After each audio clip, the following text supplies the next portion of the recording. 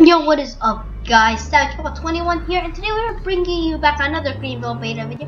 And today is very simple, guys. It's just how to fill your car up with gas. I've seen a lot of y'all, I've seen a lot of YouTubers, and me sometimes, some people asking, how do you fill up your car with gas? Well, it's pretty simple. Just grab your car, say your car's like down here, and you desperately need gas.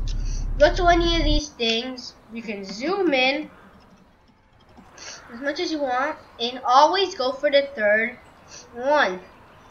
The one on the right and then here it pops up 241 a gallon. If you want to fill up completely press that. Your tank has been toppled and when you go back inside your tank should be all the way filled up. And guys that's about it about this video and I will bring y'all because I know that thing came out and no one barely guys so thank you guys for watching. Please like and subscribe to my channel. And I'll see y'all guys next time.